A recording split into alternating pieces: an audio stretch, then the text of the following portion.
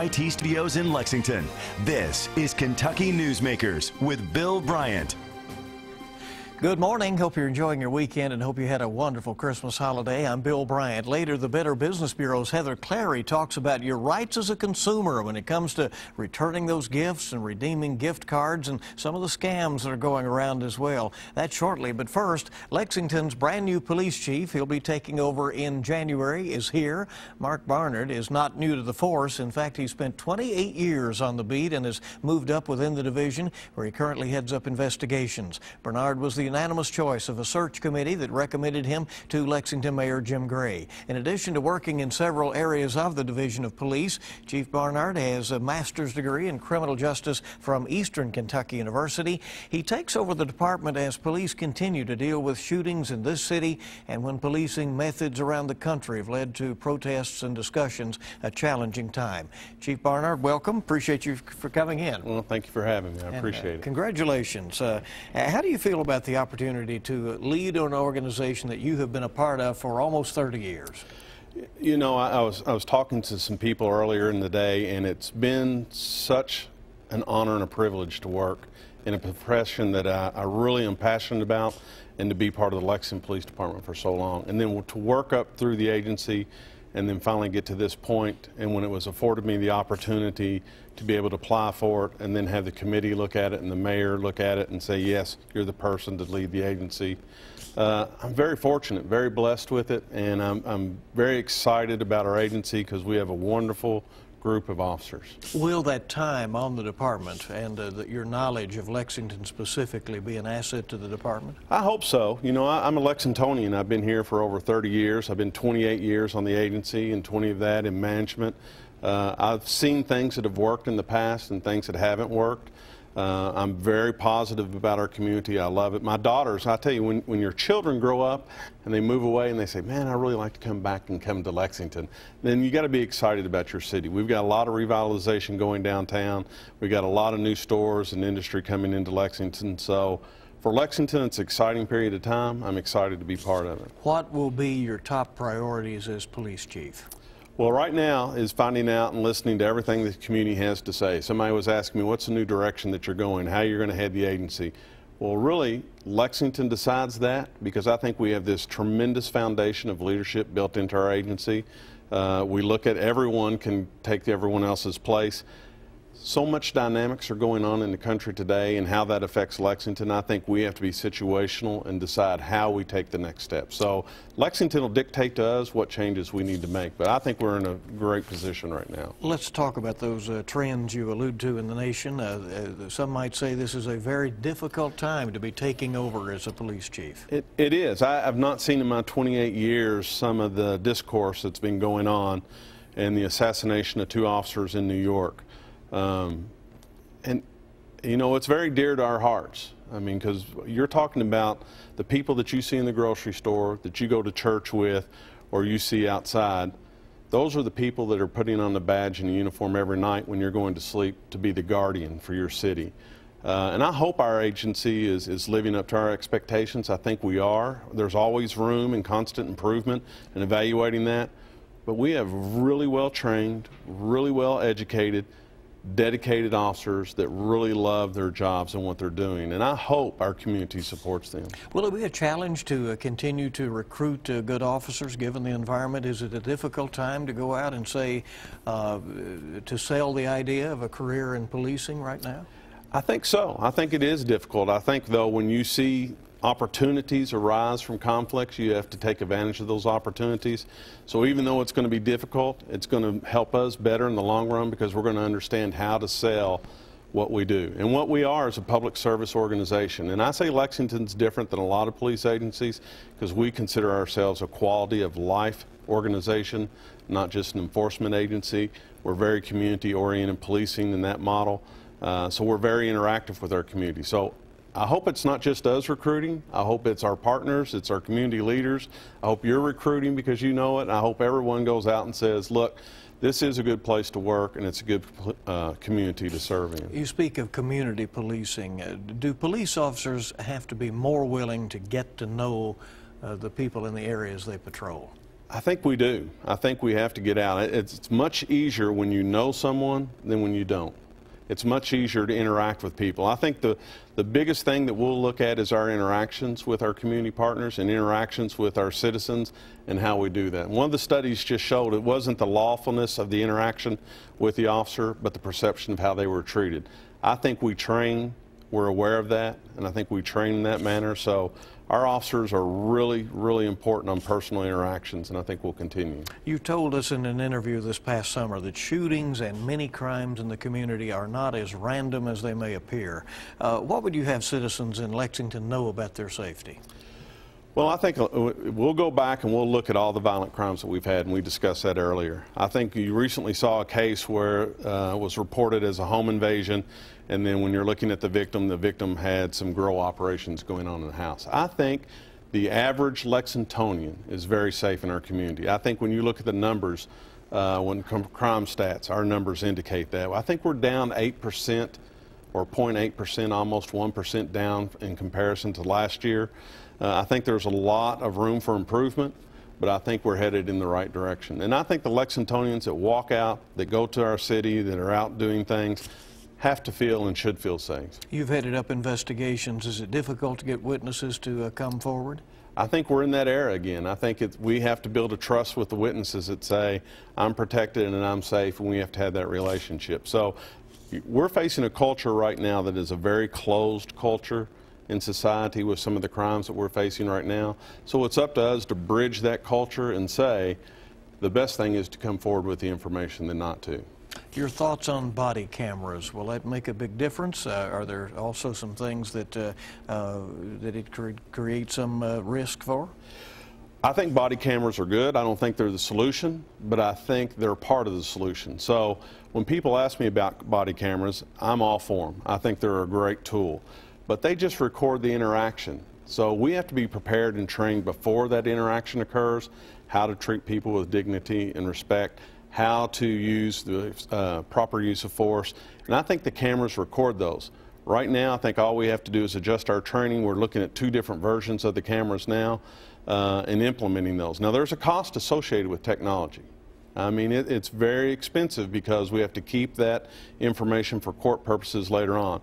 But I think in our society right now, we're in a what the CSI effect, crime scene effect, that everybody wants to see the crime happen. They want a video recording. They want to actually see it instead of being able to visualize it through testimony. So we have to face those trends. That's one of the things that we're going to be looking at is how to counteract those trends, how to better document and do our interactions. Despite a task force in the city, the heroin numbers continue to trend upward. The uh, state legislature uh, now, it looks like uh, in, a, in a bipartisan effort, will attempt to address this in some way. Uh, do you support uh, tougher laws on heroin?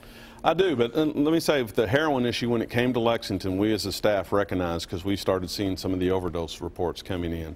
Uh, we realized then it wasn't just only a law enforcement issue because there was part of the illegal drugs coming in, but we realized then at that time it was more of a public safety health issue. So we had this task force that came in and the public health department came and looked at it and we decided one how can we do our part for law enforcement but how do we start saving people because we're going to have people that are addicted to narcotics. We're going to have people that are overdosing on heroin. The question is we do our part of the investigation and we allow the task force and other people work on the legislature and then work on the rescuing the victims. I know you wanted to make the point that uh, this is going to take a team and you're uh, prepared to lead a team. Is it also helpful that uh, your supervisor, the uh, new public safety commissioner, is the immediate former chief uh, who knows the needs of the police department? Well, I think the first thing in public safety is you have to have stabilization. So Chief Bastin moving to public safety commissioner and me accepting the position as chief, we have a pretty good team in place that where we can bounce ideas and go off each other. We don't stray away from what we're doing because we think we were doing it correctly. We got new council people coming in, the mayor's in for a second term, so having some foundation in public safety, I think, will help bridge that gap. Appreciate you coming in uh, right after your appointment. We, uh, we're glad to have you with us. All right. You. Congratulations again. Thank you. And we hope you'll keep it here on WKYT and Kentucky Newsmakers, the BBB, on your rights as a consumer and some of the latest scams that are out there as we head toward the new year. Coming up on WKYT. Welcome back to Kentucky Newsmakers here on WKYT. As you unwrap those gifts and determine what fits and what doesn't, or how to spend those gift cards, there are a few things to know. And the scammers take no holidays. They're using new technology to fool unsuspecting people who answer their phones, uh, phone calls, or their emails. Heather Clary is here with that and some advice for those trying to settle debts and get a clean start in the brand new year as well. She's with the Better Business Bureau, and it's good to have you. Thanks uh, for coming Thank in. You. Well, a lot of folks are doing uh, refunds or exchanges right mm -hmm. now. And uh, do consumers have a right to return something that doesn't fit or uh, doesn't, uh, you know, isn't what they wanted? Well, if something doesn't work, you know, there's a whole different implied warranty issue that applies there, but a lot of stores relax their policy somewhat. Uh, many stores have already relaxed policies, but what we want people to understand is stores are allowed to set their own refund and exchange policies, whether it's something online or the bricks and mortar store. And uh, it's a good idea to look at that if you're shopping ahead of time to look and see what it is. But of course, if you've received the gift, um, sometimes if they say you got to have a receipt or you won't get any mm -hmm. cash, you got to have a receipt. Otherwise, you're going to get just store credit or something like that. So just look and see what it is, and um, sometimes the stores try to make it as easy as possible yeah. for you around holiday time. For competitive reasons, uh, most of oh, them need sure, to be uh, yeah, sure. uh, pretty careful with that. But, but you say there really, there's no law that says uh, this is the way you have to handle returns. No, um, they can set what they want. Some people say 30 days out, we'll give you a cash refund. If it's 60 days later, we're only going to give you store credit. If it's after 90 days, forget it. Or if you don't have a, a receipt at all, uh, and, and, it matters what it is. They usually have it posted at the, at the customer service desk or something like that. So just take a look at it and watch the calendar because you don't want too much time to pass. You don't want to go out the day after Christmas, fine, but don't wait too long so that yep. you don't get an opportunity. And also keep in mind there might be restocking fees for some items you order, uh, CDs, DVDs, some electronics. There might be a, a, restocking fee involved there, so don't be surprised if that hits you. Meaning they might tack on uh, three or four, five dollars. Well, 20 percent oh. some places, 15 percent. It depends on the retailer. A lot of people uh, put those gift cards, you know, in a drawer, and mm -hmm. it's, it's all mm-hmm. nice, and oh, this this will come in handy That's free someday. money for stores. Right. Yeah. And they have every intention of getting right back to them, but it doesn't happen. And you say, um, there are not necessarily a lot of protections about that over the long haul. There's there's one law that says they can they have to honor them for uh, federal law yeah. says those gift cards cannot expire for five years, and I believe another part of the law indicates that they can't add on any non-usage fees, dormancy fees, till at least a year has passed. However, another thing comes into play. We have heard of people receiving gift cards and then a business goes out of business or bankrupt and then that leaves you with a worthless piece of plastic. So you may not want to wait too long or consider the financial condition of the company that you've received it from. It's a well-established chain. I mean, it can happen to any kind of business. So just kind of keep that in mind and, and don't forget them. And if you decide to unload them on one of those websites that you can buy and sell, be careful about those sites because some of them can actually, uh, if you trade with somebody, you might not get the full value. So check those businesses out with the BBB before getting involved with those. Heather, do you notice any trend between whether, you know, those local mom and pop shops uh, do a, a, better job of, uh, of, of, taking care of these customer questions, or do the major retailers have the same sort of obligation? It depends. I mean, a lot of places have excellent customer service. Some places, if you're just shopping online, you're going to get all your information there. So just uh, be uh, persistent, but but firm and, and polite, because nobody's trying to, nobody wants to cause a problem if you run into a situation. If you need some assistance with something, please call the BBB. That's what we're there for, to try to help open the lines of communication between consumers and businesses and try to help resolve issues. A lot of folks are hoping to, uh, you know, settle their debts, get a fresh start in mm -hmm. a brand new mm-hmm. year, and there is no shortage of uh, people offering to assist with that. Uh, yeah. what should we know about that? I can tell you that we hear from folks every day at the Better Business Bureau who have just gotten online and look up debt relief, or they get things things in the mail that they didn't even ask for that says, we can help you get rid of your debt. Well, that sounds great. It took you a while to build up that debt. It's going to take a while to get it, get rid of it. No one can erase your bad credit. We want to make that clear. We also want people to understand that some of these businesses can be very helpful, but some can also do you more harm than good. Um, some of them have been known to pile up the money that you pay them and not pay your creditors until they have enough that they think can make a settlement. Meantime, your credit continues to tank. So we advise people check out a business with the Better Business Bureau before handing over that information. These businesses that do debt negotiation are required by law to be registered with the Attorney General's office in Frankfort so that they know all about who they are. So check those things out out before handing over that information. This goes for student loans as well. That's a new cottage industry we're hearing about, people wanting to settle those kinds of loans. And what's that all about? Well, people are, I you'll hear the ads, you see websites, and, and you'll see, oh, we can, uh, you might qualify to have your loan forgiven, your student loan forgiven. Well, that sounds pretty tempting if you've racked up twenty, thirty, forty thousand dollars.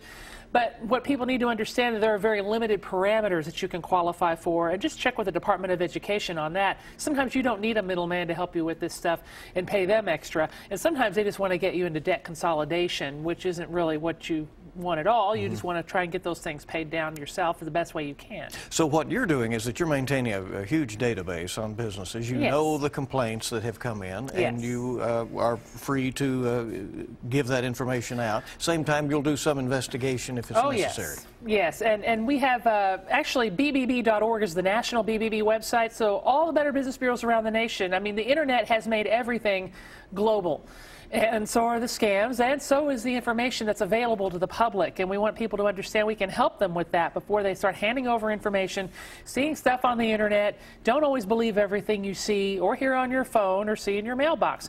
Check it out first, and anybody who tries to discourage you from that is probably not anybody that has your best interests at heart. Why is it that uh, so many people today try to masquerade as the government? You know, you get you get that yellow envelope. it looks so official.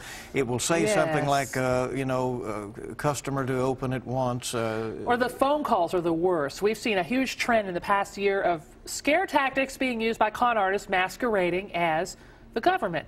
Medicare, they'll call the senior citizens, oh, your, your card's going to expire unless you hand over your information.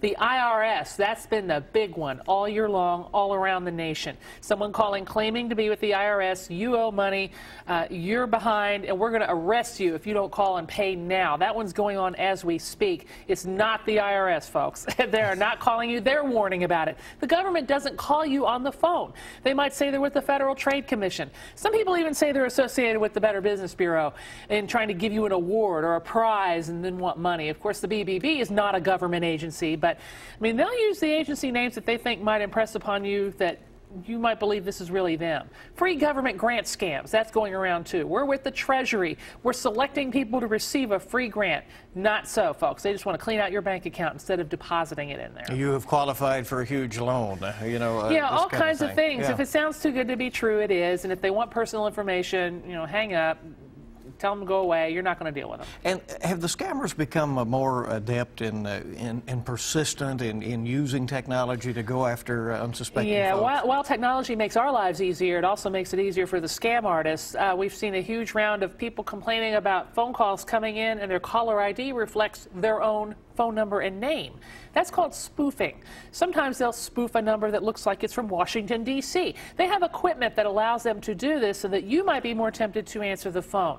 As far as the spoofing your own name and number, just don't answer that. It's just some con artist wanting to do Lord knows what, and you can't block those calls. That's one of the reasons they do it. So you can't it- block your own number. It looks like a call that's coming from yourself. yeah, or your neighbor, or, or your church. I mean, we've heard it all. And once you find out it's not, it's one of those automated things, just hang up. People want to give whoever's on the other end of the line down the road and push one or two to get removed. Just hang up or ignore the call entirely. It's the Mm-hmm. Best thing to do. Earlier in the year, you had mentioned something called the One Ring scam. That started our year. Uh, it was all over the nation. Your phone would ring once. Well, a lot of people are like, oh, who tried to call me? And they'll pick up their phone and call it back. You end up calling Jamaica or the Dominican Republic or who knows. It's tricking you into calling them, possibly putting some sorts of charges on your phone.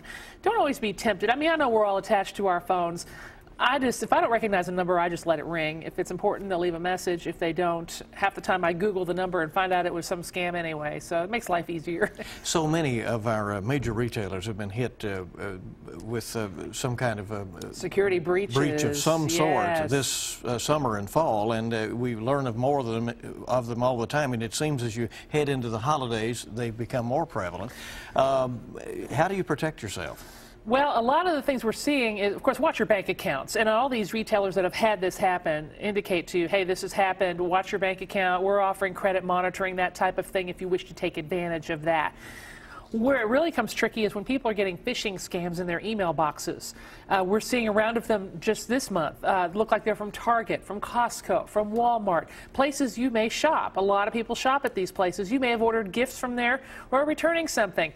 It could be a con artist that has gotten a hold of your email through a hacking incident and then sent you these these these fake emails telling you to click on a link. It just unloads a virus on your computer. So don't always assume that something in there is for real that's in your email box, especially if it looks like someone you've done business with. Most of them are not going to ask you to give personal information. Log into your account yourself on the website or call if you think there's a problem because it could very well be a virus. How many of these operate from overseas? Who knows? I mean, there are so many of them. Technology allows them to hide behind internet servers. I mean, some of them are in Russia, they're in the Caribbean, uh, in, in Canada. Mean, it's all over the place. And that's the thing. When the con artists run these scams and you fall for it, there's generally little or nothing you can do if you've just handed over money. For instance, if you use a credit card in some transactions, you can usually have the uh, opportunity by law to dispute uh, anything that was stolen or misrepresented and look at your own uh, credit card terms and conditions. However, um, some people will use cash. They'll just give a debit card. They'll get a green dot MoneyPak card, which is the way that the con artists like to use that. It's one of those reloadable cards, just like cash. You've won a prize, you got to pay the taxes, et cetera, et cetera. So uh, don't ever give cash or anything like that over the phone to someone because you're not going to get it back. And in some cases, they'll send you a check saying, uh, buy some green dot cards, right? Or well, they'll, they'll send you a check telling you it's time to, uh, you've won a prize and this is to help cover your taxes. So cash mm -hmm. it and wire this money. Or this is for a mystery shopping job you've been selected for. Go and wire the money, get it out of the yeah. bank, wire it somewhere if a check shows up for a thousand, two thousand dollars, you're not expecting it's not going to be. It's going to be. It's going to bounce as high as the day is long. I want to ask you more about that. We'll take a yeah. break here. Secret shoppers, uh, yeah, sort of a new area of concern. We are back. Heather Clary is with us on WKYT's Kentucky Newsmakers, and we're back in a moment.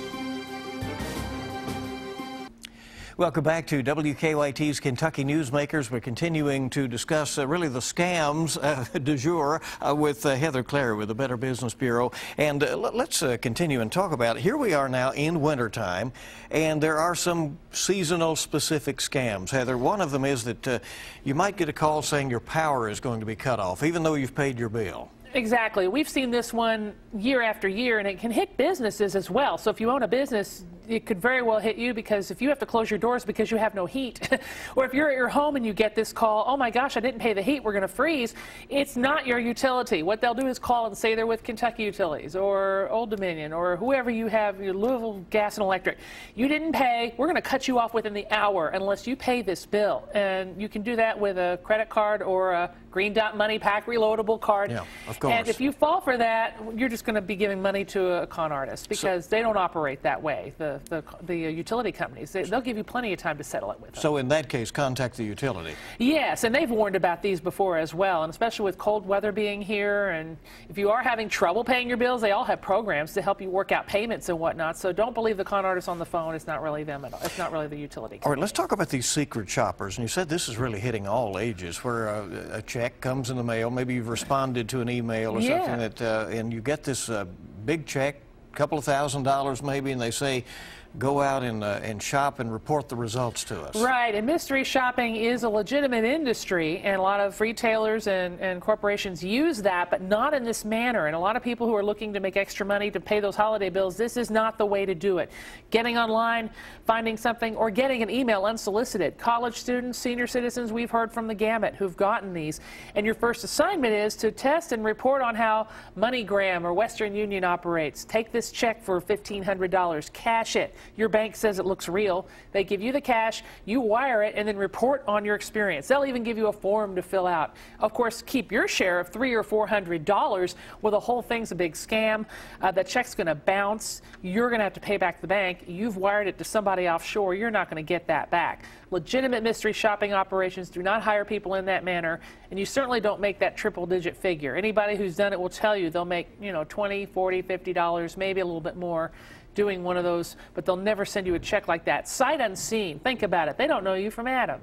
Are you going to take a $2,000 check and do with it what they want you to do? So anybody can set up a website, so just be cautious about that. They're innovative, aren't they? Yes, they are.